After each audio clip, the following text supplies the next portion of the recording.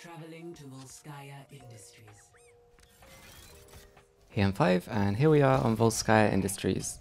We're going to start by looking at attacking point A and I'm just running through a basic opener, uh, one of three that I'm going to be showing you, where we clear the opening high ground by grappling out of spawn and then we're going to drop to cover and then rotate to more cover that actually lets us sort of peek onto the point and scout the enemy composition a bit.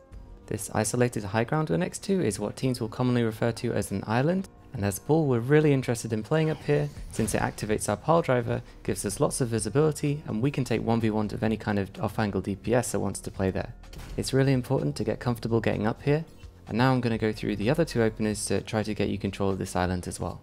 I find leaving through the left spawn door helps me land my grapple on the corner of the building here and then a carefully timed jump is going to take me right onto the island. Our third opener comes from Harbleu and we're going to be grappling the top right corner of this middle window on the edge here. This takes us up onto the roof and behind the enemy team where we can take the stairs up to this top left high ground and then clear the island with our grapple active. It's pretty common for the tank line to be holding on the left here and I like booping them forwards into my team and then pile driving. I think minefielding off the Mega can be really strong and forces the tank line to play out in the open while the supports are stuck inside. There's some real carry potential with environmental kills on this map, so keep an eye out for people playing in the corridor near the Mega or on the wall on the left side of point, since being able to take point A without using ults puts you in a great position to snowball point B. This is where your ball pick can get really difficult to work with and without being much of a proactive play in of itself, making an effort to control this top right high ground can go a long way in keeping your team alive. As far as creating your own win conditions here though, I've had the most success going behind onto this bridge behind point. We can start 1v1ing Anas or Baptistes here, and this position sets up nicely for going onto point with a minefield.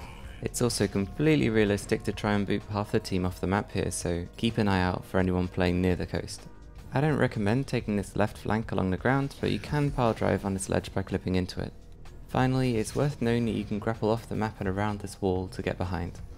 This can take you right to that bridge with the supports playing on it, where we can look to take attention or get a kill. When it comes to defending on this map with ball, I want you to make friends with this orange box on the island from before. This shape works great as cover, and from this spot we can be telling our team where the enemy team's pushing, and look for big pile drivers if they're playing as a group, or wrap around and confront anyone that tries to take a position by themselves. We don't want to let a soldier or widow sit up here uncontested. For your minefield, I recommend trying to use mines on a backline of a team that's trying to take a fight on either side of the island. I think using mines to split a team and cut off their means of escape is much more valuable than just dumping them on the objective. When a fight is taking place on the point, be sure to make use of these props as cover, you can sit here to wait for your cooldowns to come back and also to activate your pile driver from. When you do come out on top in a fight, don't be afraid to push up and look for kills. Whether these are players that are just leaving the fight that was lost or oblivious players walking out of spawn, we can often find 1v1s here and if we can't take the fight you can retreat to this high ground for safety. Defending B on this map is when I find ball the hardest, but I'll generally try and keep the top left high ground contested and try to save my mines for either on point or as they try to push main.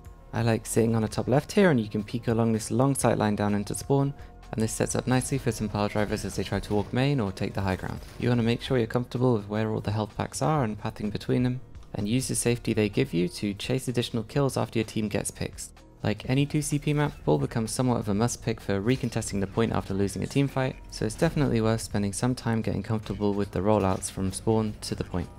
As ugly as it might be, hitting the rollout and timing your adaptive shields well can completely change the outcome of a game. And just as a final note, both of the points on this map can be grappled to if you aim for the right places. You want to aim for vertical faces, not the horizontal ones.